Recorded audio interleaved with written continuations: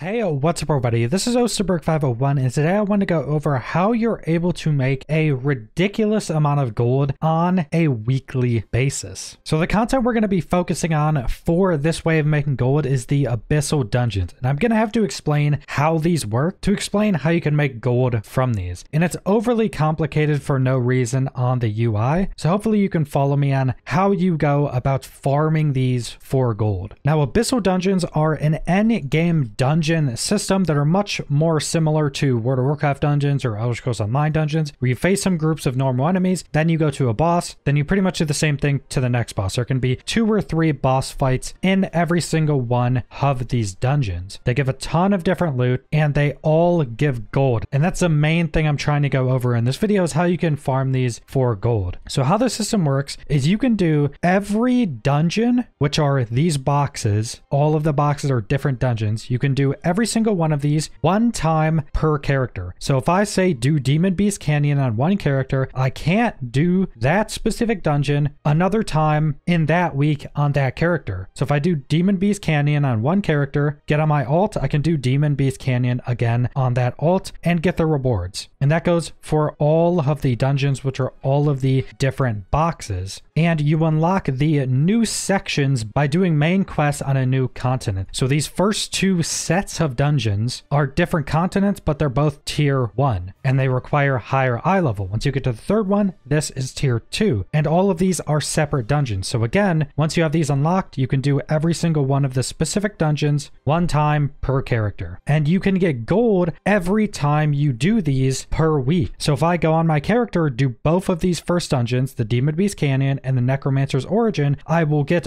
a bunch of loot that it shows here, and I will also get the gold. Now, there is some stipulations with earning the gold and other sellable things such as the engraving recipes. So there is a limit on these dungeons, and this is the weekly gold limit. Now, if you just read this box right here, it's incredibly confusing for no reason. So essentially how this works is when you do any dungeon on one character, it will put them on this weekly gold limit. You can see the characters that have done it at the bottom. So essentially when you do that dungeon, it locks that character in as being one of the characters that can earn gold from Abyssal Dungeons this week. So if you have six characters and you go do one dungeon on all six of those characters, all of those characters will be locked in to be able to earn gold from Abyssal Dungeons that week. If you have a seventh character and you go try to do Abyssal Dungeons, you can't earn gold on that seventh character but you're still able to earn gold on all of the dungeons. So I can go do Demon Beast Canyon and Necromancer's Origin on six different characters and earn gold from both of these dungeons on all six of those characters. And the gold amount from these first two dungeons are 80 gold per. So I can go on one character, complete both of these dungeons, and get 80 gold per. Go on another character, get 80 gold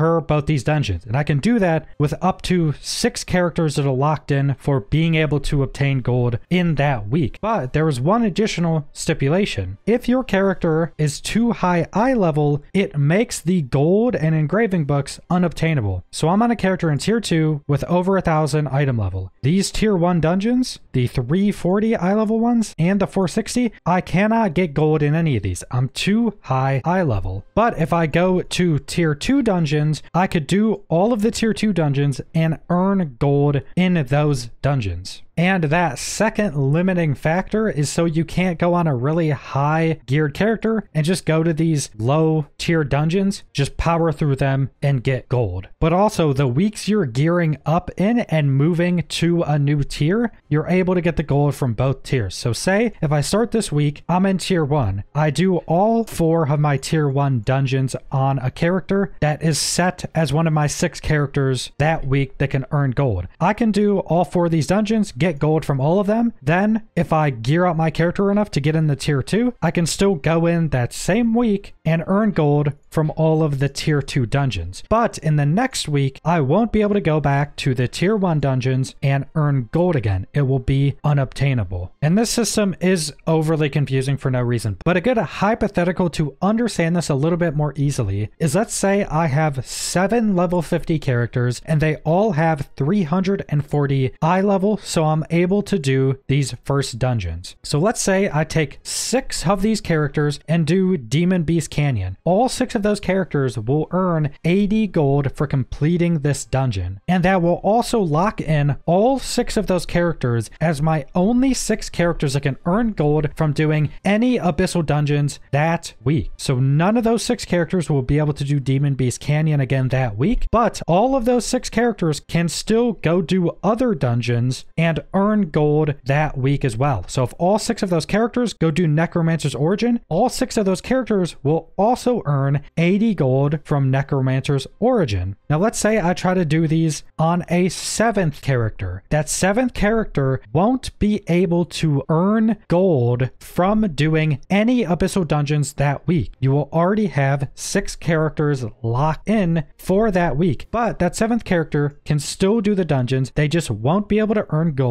or the engraving books. So having up to six max level characters can maximize the gold you can earn out of Abyssal dungeons, and you can earn a ton of gold. And going to the higher dungeons and higher tiers, you will start to earn more gold at the end. So it's not always going to stay 80, it's going to be more and more the more tiers you get through and the harder dungeons you start to do. And on a side note, I did make a video going over how you can actually really easily get six level 50 characters. So I'd recommend going and watching that video, especially if you want to make gold doing this, because you can do all of these dungeons on those six characters and earn gold on all of them. And that's pretty much the entirety of how you can earn gold through Abyssal dungeons on a weekly basis. And this is a lot of just guaranteed gold. If you complete that Abyssal dungeon, you get the gold. For time invested, it's not going to be the absolute best gold possible in the game, but it's very consistent and you'll also be getting a ton of other resources while doing these dungeons. And even with saying that, the gold still isn't bad for time invested. So I hope I explained that well enough for you guys to understand about this system and how you're able to farm gold through this system. And if you have any questions, leave them in the comments. I'll try to reply to everybody because I understand this system is